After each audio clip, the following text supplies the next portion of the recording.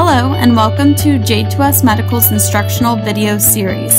Today we will be demonstrating the multiple uses of J2S's Philips Monitor color coding clips.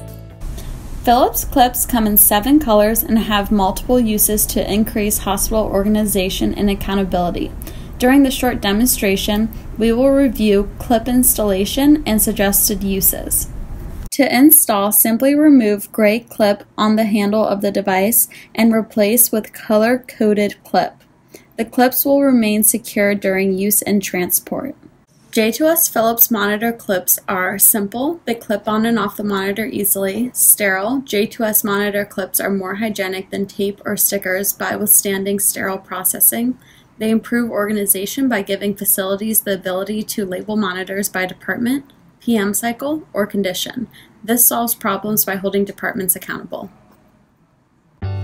Call a J2S medical representative today at 844 dial J2S to learn more about how our Philips X2 clips can improve your facility functionality and Philip monitor accountability.